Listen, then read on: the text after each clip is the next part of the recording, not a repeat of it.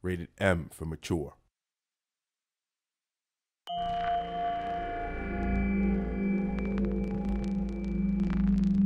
Lord, I don't know why this is happening to me. I was the perfect little girl.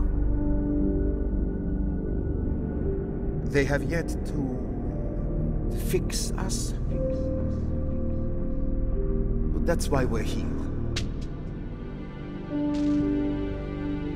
I know I'm not alone. I know I can get help if I ask.